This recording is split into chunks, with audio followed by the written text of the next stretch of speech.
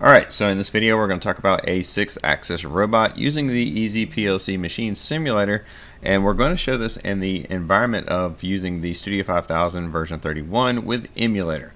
Now, so everything will be simulated. Uh, basically the code is already written and you see the process running right now.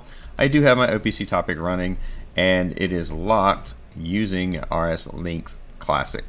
So you can see the, the um, simple robot right here. I have it locked that is what is the communication path that is currently being used for the EasyPLC as far as the I.O. driver.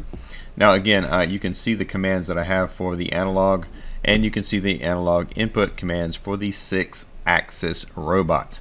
Um, now this will be talking about indirect addressing and how to do that with a finite state machine. Again, a finite state machine being a set number of states that you use to program a machine uh, and that you need as required to have the machine work functionally and properly as designed. Currently I have three routines, um, very, very, very simple. Main routine is all the, the whole state machine and how the process is running. Um, in state one, let's go ahead and talk about this. State one, if the process is running, we're going to set the uh, if and the actual um, robot count is excess of 5 or uh, is equal to 0, then we're going to set it to 1. That's going to give us our first layer of place position. Again, so at this point in time, we're, all we're going to do is verify that the robot is in the resting position and, it in, and the photo eye is made for the actual box being at the first start of it. So at the box being at the first photo eye. Alright, so with that said, if it is, then it's going to go and how we're doing that resting position right here and how we're verifying that is we have a uh, axis tolerance check that we're actually coming in using. Now, how am I doing that? I'm basically taking the readouts, the feedback I'm getting from Machine Simulator, and we're doing, we're basically saying I'm adding uh, basically 0.003 to each one. I am subtracting 0.003 to each one to develop a tolerance. If it is within that tolerance, I'm saying that that section, that axis is good. If it is within that uh, axis 2 tolerance, again, that axis is good you can see those bits transitioning. So that is how that works. So instead of having big long rungs, I am separating that into a separate um, routine so that we can keep it nice, clean, and easy to read. Again, so after uh, very first uh, state, state 0, state 1 is going to call a pallet into position. If the pallet is in position, we're going to transition to state 2.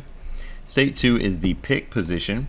This is where we will be doing the pick position for the state 2 and I'll draw this up just a little bit so you can see it a little bit better. Uh, so state 2, you can see that right there. This is the pick positions. The pick position never changes. Although I am I am adjusting the axis I move, like axis 1, axis 4, axis uh, 6, I am moving immediately. I am then moving a time. I'm doing having a running a timer, and if the timer is timing, I'm allowed to move the arm up and down just a minute amount. And if the timer is in within a set uh, range, I want to pivot the actual arm up and down. Okay. With that said, that will give me adequate room to do my pick. So again, that gives me the proper movement of that arm, that six-axis robot to do that actual pick in the right position and do the proper function. Not only that, make it move smoothly and not look awkward when it does that. So as you see when it comes back in here, this will come back to a resting position, then it will go to a pick position. Now watch the pick position as it goes. So it comes over, then it comes down, it adjusts the rest of the axis as soon as it comes over here, adjusts the axis, and then it moves down. So you can see that that is functionally the way that routine works. You can see each one of these being called. Now, as it goes to that position and it is within range of the pick position and the robot does have it, meaning it is detected, then it will transition to state 3. In state 3, we turn on the vacuum to uh, grab that product. Then we come over here to state 5. State 5 is a moving to resting position. That is moving back to the resting position right here states. And as soon as it goes into the uh, tolerance and everything is good we're going to go into state or that was state 4 state 5 will be the actual moving to the uh, place position. Now that is a little bit trickier because we're doing indirect addressing and based upon where the system counter is, what layer we're on, I'm going to point to a separate position for each axis. So each axis I'm going to move uh, axis 1 immediately, axis two, uh, 6 and 3 I'm going to move if the timer is timing. If the timer is done I'm going to move axis 5, 4, and 1, R2. Now, how that works with the indirect addressing is based upon the timer or the counter that is down in uh, state 8. Based upon the counter ACC, it's going to come in and point to that uh, position. So in this case, it's pointing to layer 2, and the robot will point to layer 2. So I, I have adjust positions over here where I am coming in showing that. So let me actually bring this up a little bit better so you can see it you can see this is layer 1 of axis 1, layer 2, layer 1, layer 2, layer 3, layer 4 of axis 1, layer 1, layer 2, layer 3, layer 4 of axis 2, layer 5, or layer, I'm sorry, layer 1, layer 2, layer 3, layer 4 of axis 3, and so forth. You can see that. So each one of these, and they do have all specific set positions, so they're not all the same, each one of them will be slightly different to get the proper movement of the robot head. Again, verifying that those tolerances um, are all working off indirect addressing as well. You can see that based upon here. Let's move that in. So you can see this is moving the indirect addressing that is currently on, like state 4. It's saying, is it within that tolerance? I'm building a tolerance again. You can see I'm moving, I'm adding plus 003 to that, building the upper tolerance plus 00 or negative 0 or minus 003 to give a uh, lower tolerance. If the axis is within that tolerance, it will come in and say the place is good. You can see those bits transitioning. So I'm building up a tolerance, and that's using the I.O. from the actual what I'm commanding the uh, analog output and what is the analog output is actually doing. So you can see that functioning in the way the robot is actually working. Right now, currently, we're going to be in the very first uh, layer. So this is going to be picking the first layer. If we look at the counter, the counter of that should be on layer 1. The ACC is actually of that counter is 1, so that will be placing it in the value of 1.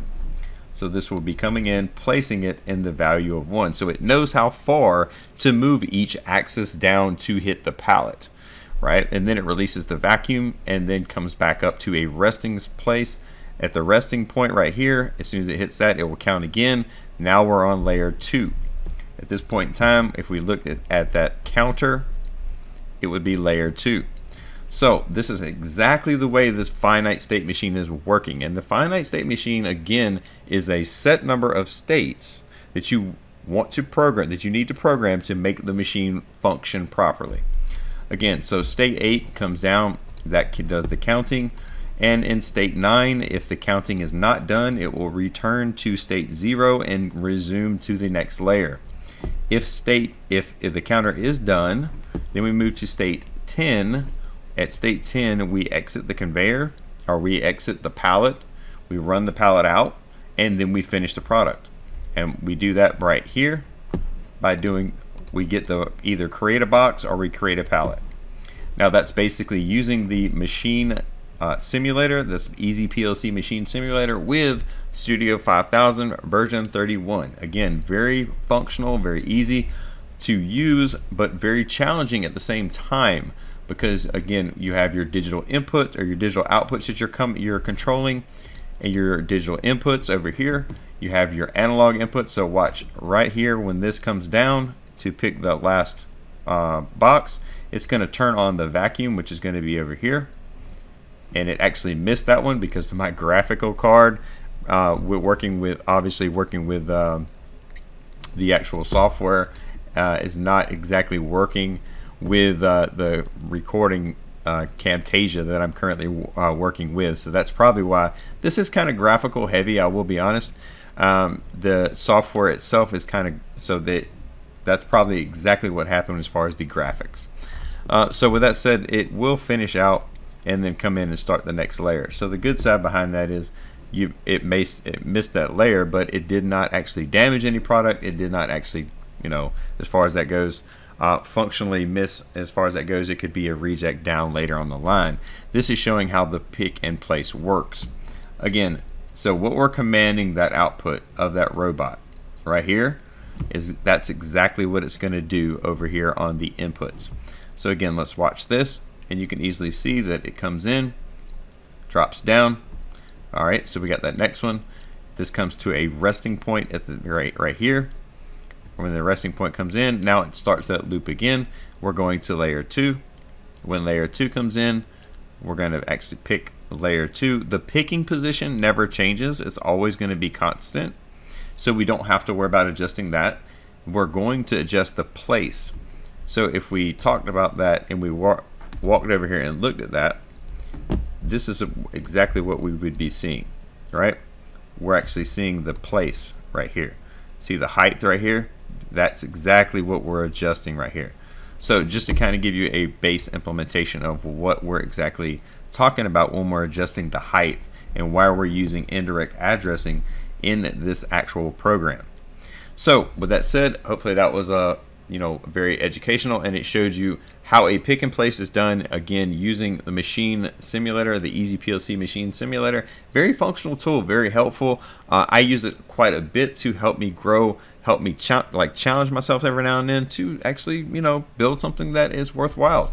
And obviously you can test in a real world environment without having to damage anything without worrying about damage physical equipment or even have something you know you know that you possibly have a potential of messing up you can actually come in here program everything and then come back and implement it in the real world. Or if you don't have anything to implement in the real world, you can merely just practice as if I, just like I do to pick a machine, come in, make it work, see how it works, get a scope of work, and then come back and learn from it, right? Again, I showed a video talking about how to actually, uh, how a six axis robot worked, and I did that using this specific software.